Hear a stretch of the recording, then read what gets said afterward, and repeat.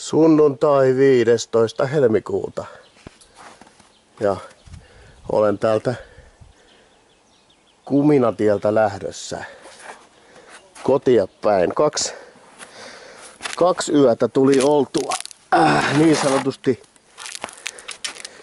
Mutsin hoteissa. Oli hyvät safkat, oli tota niin, varmaan kaksi ja puoli kiloa tota niin, kirjolohikiusausta. Komea on päivä.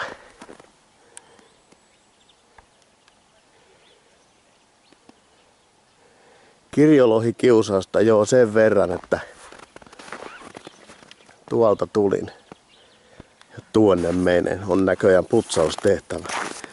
Joo, tuli syötyä niin paljon taas, että alkaa kohta taas jonkinnäköinen kilojen tarkkailu. On tää tämmönen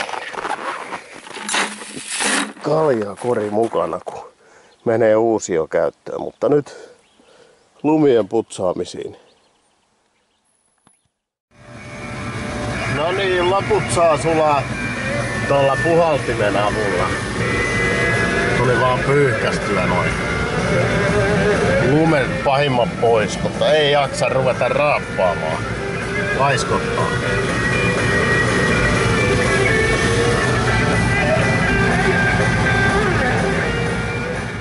Vähän aurinkoista maisemaa täältä Ahilammen Hiidenjoelta.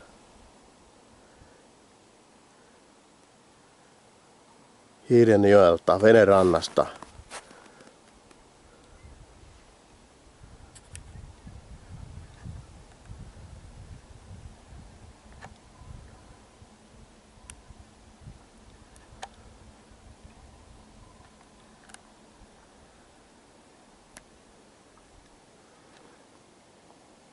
Jotta näin kevät tulee.